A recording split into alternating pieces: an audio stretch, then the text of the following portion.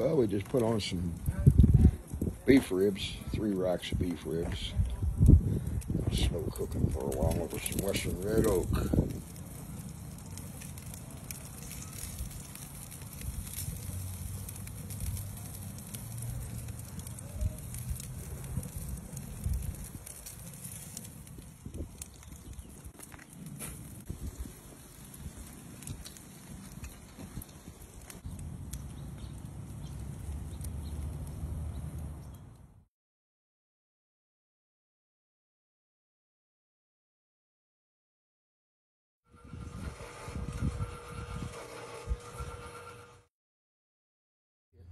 So now we drop the Santa Maria reel right in top of there. Drops right down inside.